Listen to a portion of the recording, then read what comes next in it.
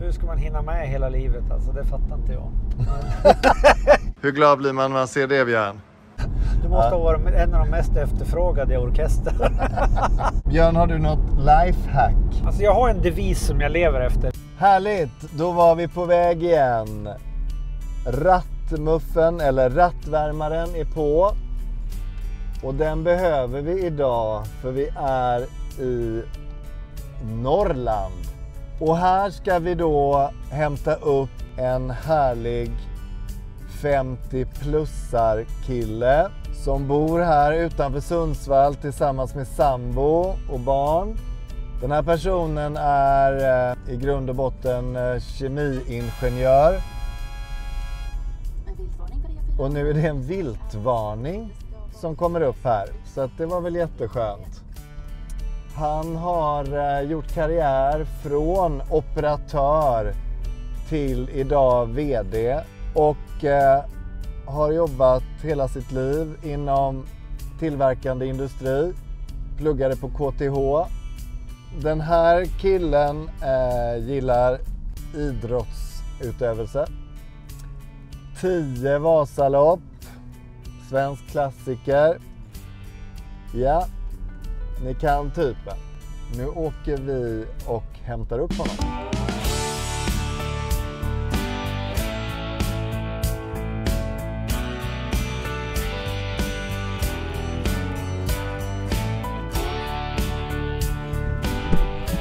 Hej Björn! Hej, tjena! Kom in! Tack! Ja, kul att få en chaufför till jobbet. Jajamän, Ja. nu kör vi. Nu kör vi! Let's get to work to get the good things done.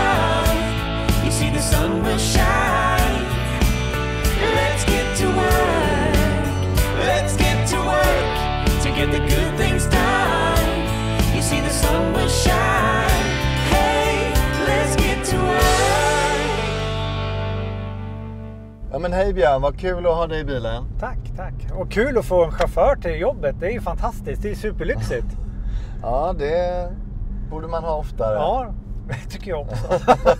Du, eh, morgonrutin. Har du någon eh, speciell morgonrutin? Jag eh, försöker hålla just exakt samma sak varje morgon. Jag eh, går upp samma tid varje morgon, Vilken tid? kvart över sex. Ja. Och sen så dricker jag en halv liter vatten, varmt vatten. Jaha. Eh, käkar fil med g- hemgjord granola. Ja. Och filen ska då vara 50% fil och 50% Bollnäs vanilj. eh, och så är det bär och sen så käkar jag även havtorn. Eh, havtorn är ju väldigt nyttigt bär så det käkar jag också samtidigt där. Så det är lite speciellt. Det är sånt superbär va? Ja. Hav- Ja, havtorn. ja. och det kör jag varje morgon. Då är jag redo för dagen. Då är du redo för dagen. Yes. Eh, Vi ska ju nu köra till eh, Domsjö fabriker. Ja, För de som inte vet, vad är det? Domsjö fabriker är ju ett eh, bioraffinaderi kallar vi det då. Vi använder ju skogen då, eller trädet som råmaterial och så tillverkar vi då cellulosa för textilindustrin och sen så har vi, tillverkar vi lignin och så tillverkar vi bioetanol och så är vi också en stor producent av biogas. Och det här till eh, klädindustrin. Mm. Alltså vad är det ni gör då? Ja just det, det är, alltså det är ju tygmässigt så är det viskos man, an- man tillverkar av, av våran cellulosa då. Berätta mer om Domsjö fabriker. Eh, Hur många jobbar där? Eh, Vi är 350 personer som Mm. jobbar där ungefär. Och det är både tjänstemän och arbetare. Alla sorters eh, arbetskategorier ifrån, ifrån processoperatörer, mekaniker, elektriker till, till ingenjörer, ekonomer, HR, Mm. rubbet. Rubbet. Och eh, jag vet ju att ni är en del av en större koncern. Just det, tack. Ja, vi tillhör ju, vi, vi äg, ägs av Aditya Birla Group och det är eh, ett indiskt konglomerat. Det styrs av en familj som heter Birla-familjen. Vad är det bästa med Domsjö? Alltså jag tycker framförallt människorna är det bästa med Domsjö. Vi har ju de coolaste produkterna, det måste jag också säga. Va? Eh, Men människorna, det engagemanget, eh, den, den, man känner sig välkommen när man kommer till Domsjö. Ja. Eh, Och det är en otrolig styrka. Du och HR-direktören på Domsjö kontaktade ju eh, mig och Coreworkers för drygt ett år sedan. Varför gjorde ni det? Alltså under pandemin skedde det en förändring i, i hur man tänker i arbetet. Det var kanske inte helt självklart längre att man skulle gå på jobbet direkt på morgonen eh, och att man skulle sen vara där varje dag. Liksom, utan det, det uppstod ju en möjlighet att kunna jobba flexibelt, eh, kanske vissa dagar hemma och, så vidare. Mycket av det här tillsammans vägde att vi insåg att vi kanske måste börja jobba lite mer med arbetsgivarvarumärket. För vi, vi såg att vi fick en väldigt stor, eh, vad ska man säga, Personalomsättning. personalomsättning. Ja. Så att med hjälp av det här så började vi fundera på hur, hur ska vi jobba med det här för att bli en mer attraktiv arbetsgivare men också få människor att tycka att Domsjö är den bästa arbetsplatsen som, som finns. Ja. Men kanske också fundera på att de, när vi söker folk så ska det liksom känna, ja just det, Domsjö, de verkar bra. Mm. Där vill jag jobba. Ja. Dit vill vi nå. Så tydliggöra vilka ni är, Ja. men också behålla och engagera dem. Ja, Och Du har ju myntat ett uttryck att be- behålla det nya attrahera. så att vi, vi får köra på det. Ja. Vad ville du uppnå? Ja men alltså jag, jag... För det första så kände jag så här att vi... Här, här kanske vi måste ta hjälp. Vi, vi, vi sitter i våra hjulspår, vi har begränsade resurser. Vi behöver tänka nytt lite grann. Va? Så att av det så- anledning så, så kontaktar vi ja, Core Workers i det här fallet. Då. Och sen, vad vill vi uppnå? Ja, vi vill ju ha, skapa en, en attraktiv arbetsplats. Lite Ja. det jag pratade om tidigare med att folk ska tycka att det här är the place to be. Ja. Hur kör jag nu? Rakt fram. Kommer jag över bron då? Jajamän. Så en attraktiv arbetsplats Mm. där folk vill vara och känner sig Ja, engagerade. ja. Det var liksom grund... ja, alltså just det här med engagemang är väldigt viktigt och, och, och jag menar, det är våra människor vi måste bygga verksamheten på. Eh, Oavsett hur mycket maskiner vi har så, så funkar inte verksamheten om vi inte har bra människor. Vad tycker du var det svåraste med arbetet som vi gjorde? Att leda i förändring är ju aldrig enkelt naturligtvis. Och jag är ganska snabb, går igenom förändringskurvan väldigt fort, men alla gör ju inte det. Så att liksom få alla med på båten och gå igenom förändringskurvan och förklara liksom det är hit vi ska. Mm. Det är det här, som, det är det här vi vill uppnå. Och få det att liksom hända i verksamheten. Om det är svårt eller inte vet jag inte, men det, det är ju sånt som tar tid och det är sånt man måste ha lite respekt för tycker jag. Och det här med eh, den heta norrländska arbetsmarknaden där eh, företag drar i arbetskraften. Allting från ingenjörer men också eh, operatörer och medarbetare på olika nivåer. Alla kategorier skulle jag säga. Det är ingen, ingen är orörd. Nej. alla, liksom, alla har möjligheter liksom, och då, då gäller det att försöka jobba med att vara en bra, en bra arbetsgivare. Och, och, och för vårat fall då så är det, vi vill vara den, den bästa arbetsgivaren. Vad var det bästa med arbetet förra året tycker du? Vi valde ut 30% av arbetsstyrkan ungefär att jobba med. Skapade ett antal fokusgrupper då, tillsammans med er och, och jobbade där och såg då engagemanget. Och det är liksom, det ska ju gå från att vara någon form av, vi kallar det för projekt, va? men det ska ju vara in, inbäddat i verksamheten. Så att genom att bestämma sig för att det är ingenting som ska sluta utan vi jobbar med det här. Och jag har sagt tre års tid ska det ta innan vi har nått någon förändring. Va? Så det, det är också en, en ganska stor skillnad mot tidigare och det tycker jag är superbra. Och sen då få se engagemanget i människorna och med kulmen lite grann när vi hade 120-årsjubileet och vi gjorde ett antal, gjorde en workshop då, då med ett antal grupper då och det, det var ju superroligt att se hur alla tyckte liksom wow, det här, det här var häftigt liksom och gud vad bra det är och nu, nu kör vi framåt. Så Ja. Det var superroligt att se.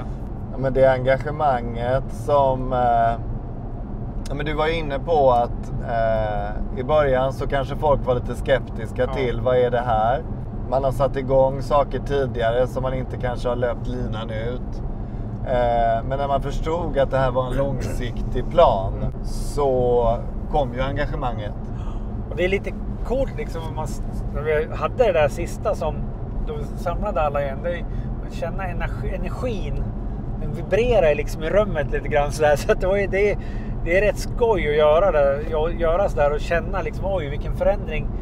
Kanske inte på ytan syns så mycket men det märks ju att, att liksom, ja, vi, vi pratar om saker som kanske inte har pratat om tidigare. Ja. Eh, och sådana saker. Det tycker jag är lite, det är lite fräckt.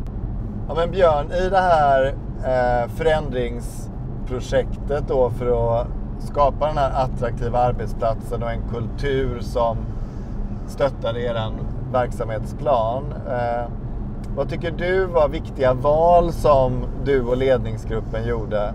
Det första, liksom att inse att vi kanske behöver hjälp med det här. Det, det tycker jag är ett, kanske den absolut viktigaste insikten. Att, eh, ja, men vi, jag tycker att vi, har, vi är superbra, vi har en jättekompetent arbetsstyrka och så. Men ibland kan det behövas att få in lite input utifrån och, och, och få ta lite hjälp. Ja. Eh, det tror jag var nyckeln egentligen för våran del. Mm. Eh, och sen också när vi gjort, efter vi hade gjort det. Vi satt ju liksom, okej det här är vårt mål och det här är vad vi ska uppnå. Det hade vi aldrig fixat själv tror jag. I sättet att se på det hela. Vi hade nog gjort lite strösaker här och där och så har det bara blivit lite... Ja, så är det att någon liksom håller styrfarten, håller i och håller ut och guidar längs vägen eller vad tänker Ja, du? ja, så är det absolut. Och sen, jag menar. Vi är bra på att tillverka cellulosa för textilindustrin. Ja, Det är, vi, det är vi mycket bättre än alla andra på. Men Ja. vi kanske inte är bäst att jobba med, om vi ska kalla det för företagskultur eller liknande. Vi var inte i alla fall. Nu känner jag att vi börjar komma Mm. på banan. Mm. Men så då, då var det otroligt viktigt att ha någon som- hålla handen lite grann och, och få hjälp av. det var ju häftigt också att ha med de här, ha med så mycket medarbetare Mm. och chefer i processen. Vad tänker du om det? Men det är kanske är nyckeln till det hela. Och, och, men ska du nå en förändring. Så det är klart att jag kan ju stå där och säga och mässa en massa. Men, men det blir otroligt kraftfullt om du får med dig människor och får, får med dig folk att bli engagerade. I det här fallet i de här fokusgrupperna. Det är klart att då kommer ju alltihopa Mm. förändringen ske snabbare. Men den blir också hållbar. Ja, Det är ju en jätte... Det är ju otroligt kraftfullt. ja, Sen är det självklart, vissa är snabbare än andra. Så kommer det att vara. Va? Det, är, det är ingen snack om saken. Och då fokuserar man på de som är med och, och som verkligen vill. Så kommer de andra sen också. Mm. Det är jag övertygad om. ja, och jag tänker just det här fokuset som vi hade tillsammans med eh, cheferna. Att de skulle vara ambassadörer för den här resan tror jag var eh, en viktig pusselbit. Återigen då, jag tycker det häftigt när, man, när vi har haft våra chefsdagar till exempel och när vi har jobbat med ja, till exempel dilemman eller vi har jobbat med olika teman. Det märks ju att folk tycker att det är kul. Folk, folk vill ju verkligen jobba med det här och tycker att det, det är spännande och, och kanske känner sig lite svältfödda på det här Mm, också. mm. Faktiskt. Björn, har du någon eh, dold superkraft? Eh, ja, det tror jag. ja, men jag är ganska positiv, eh, energirik. Ja, Eh, alltså just det här med Life is good. Alltså jag, jag tycker att livet är bra. det är grundinställningen. Ja, ja. Och så är det liksom, ja men full fart framåt. Ja. Så en grund, liksom, livet är bra. Livet är fantastiskt. Livet är fantastiskt. Ja, jag tycker det. Alltså herre min. Hur ska man hinna med hela livet? Alltså det fattar inte jag. Björn, har du något lifehack som du kan dela med dig? Alltså jag har en devis som jag lever efter. Ha inte huvudvärk för samma sak två gånger. Jag kan inte vara orolig för saker som jag inte riktigt vet ska hända eller som kanske kommer. Utan jag tar dem när de kommer. Ja, Eh, Jag lever väldigt strukturerat planerat så. Men jag kommer inte att må dåligt för sånt som kommer att hända i framtiden. Det, det går inte. Eh, Och inte sånt som har varit bakåt i tiden heller. Utan det, är- jag, jag måste leva nu. vad gör du när du inte jobbar? Ja, eh, som du ser här så har jag skidfodralet med mig. Så att jag åker väldigt mycket skidor på vintern. Eh, Mm. Gillar att göra de här klassikerloppen. Det tycker jag är kul. Och, och åka Vasaloppet och cykla Tio gånger Ja, ja, ja. Vasaloppet. ja. Eh, Så att jag tycker sånt. eh, Jag gillar att, att, pressa mig lite grann konditionsmässigt. Kan du spela något instrument? Ja, men inte, inte mer än själv. Och jag skulle inte säga att jag kan spela det heller egentligen.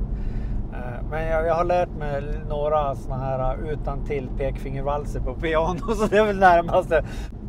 Man fick ju så här musikskola fanns det när jag växte, liksom så här i skolan. Mm. Och det enda jag fick eh, ljud i, det var ett althorn. så jag spelade althorn i tre år. sådär, ja. Det var så jävla jobbigt att dra på den där stora hornet liksom. Du måste Ja. ha varit en av de mest efterfrågade i orkestern. ah, och här kommer alltornsspecialisten. Ja, det var så sjukt tråkigt för att man fick aldrig, man fick aldrig spela liksom stämman. Nej. Utan man fick bara... Bo, bo, bo, bo. Det är rätt maffigt det här. Verkligen. Ja. Fattar du? Det ser liksom... 40 om det- Jag har åkt eh, Ådalen, heter ju en båt Ja, här nere. Ja. Ådalen 2 31 eller, säkert. eller Ja. här fanns det. Ja. Alltså jag tycker... Alltså shit. ja. Får du känslan så här ibland att du vill köra av en bro? Alltså, Nej, men däremot ska jag tycka att det är lite... li- Jag håller, alltså, det är otäckt att köra. Ja. Så att det är inte helt ovanligt att jag ligger vänsterfil. jag tyckte att jag vill inte ligga för nära. Det, det är Nej. bättre att sitta på sidan och köra tycker jag. För då kan jag faktiskt titta riktigt. Annars Ja. vill jag gärna titta rakt fram. Jo. Det känns som att du har samma fobi Fredrik. För det går långsammare och långsammare nu. Gör det? Ja. Men Fredrik, nu har vi jobbat ett år ihop här. Och du har ju ställt tusen frågor till mig. Nu vill jag ställa en till fråga till dig här. Vad, vad tycker du är vår största framgång det året som har varit? Ja, men det som var roligt tycker jag och bra. Eh, det var ju att vi gjorde en eh, nollmätning när vi startade. Och den följde vi faktiskt upp nu innan jul och såg att vi... Eh, jag tror att vi hade 12 områden vi tittade på. Och 11 hade vi gått fram på och en, en låg kvar. Eh, Ja, det är faktiskt ett bevis. det är ett bevis. Ja. Det, det är liksom så kul att man ser att vi... Och det är medarbetarna som har svarat på enkäten och cheferna. Ja. Eh, en annan framgång tycker jag är att vi bestämde oss för att jobba eh, så tydligt eh, med cheferna. Det känns som vi har med cheferna eh, på resan. De kan ta diskussioner med medarbetarna. Eh, förklara vart vi skall, ledarskap, medarbetarskap och så vidare. Så det tycker jag var en framgång. Det tror jag också. Det tror jag. Nu vill inte jag ta åt mig hela, hela äran på beslutet där, för det var ju en viss påverkan naturligtvis. Men jag tycker att det varit otroligt bra i slutändan. Det har varit extremt bra. Hey,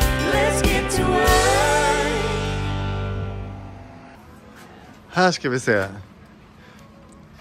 Treekonken.